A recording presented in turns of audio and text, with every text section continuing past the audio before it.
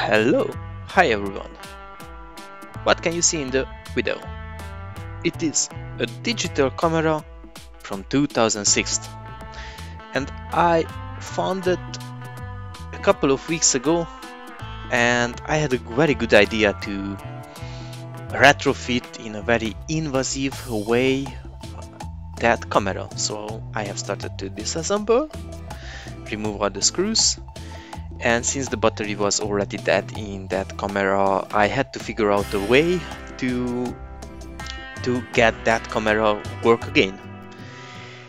And I came up with the idea that I will install an ESP to control um, as a shooter to create some time lapse or the DC-DC in into that uh, that camera and in the end of the day I would have a remote controlled camera with an ESP and uh, the power source would be coming directly from the ESP and it would be working uh, with just simply soldering the wires to to the points where the battery is connected on the main board. So I did that and I have tested my idea as you can see in the video, which is speeded up a bit. So after the installation procedure, everything was back into place and it was time to test. And the first results were very promising. The LED was uh, showing green, blinking red, and everything was fine to go. But what happened? It, it was not working, so it was time to troubleshoot. And I took the multimeter for that. My feeling were that the voltage is not sufficient for the battery. Ah, and it's almost right, so like I need 3.7 volts for, for to simulate the battery. And uh, let's readjust the, the potentiometer in the DC-DC because that could, could help and uh, we, we could figure it out. And after doing a few adjustments, the camera were very promising, so it was starting and it was a big surprise for me. And I was able to see the map, the time, the time zone, the original feeling when you turn that camera on in 2006. But wait, something happened. The battery were exhausted.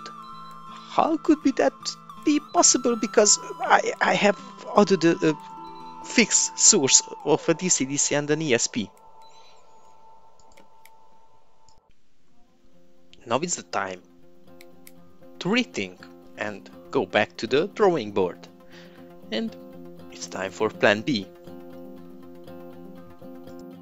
So, I have decided I will use lithium-ion battery instead of the ESP32's power.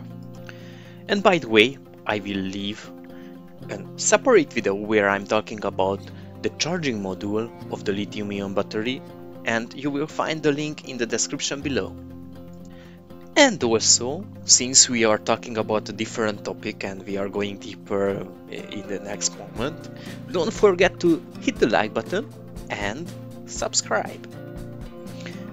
As you might have noticed, I have already removed the ESP from the system itself and I have only a, DC-DC attached, which I will remove later because it makes no sense uh, since we have a, the charging module attached directly over there and it's it's powering my, my camera. And also it turned out during the test that I won't need the ESP because the camera is capable for continuous shooting based on a different time frame so I can achieve my end goal to create a time lapse as the feeling of 2006.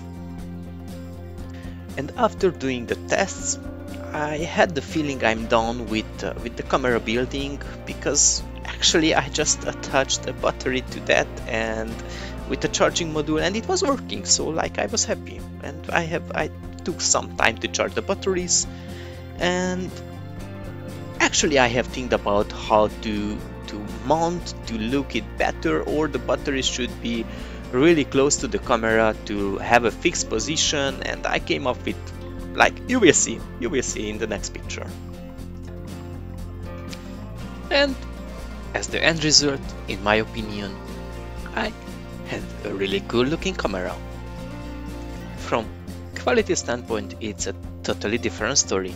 So I had achieved my time lapse and I have some footage which is coming from a 20 years old camera, almost 20 years old camera. So you decide.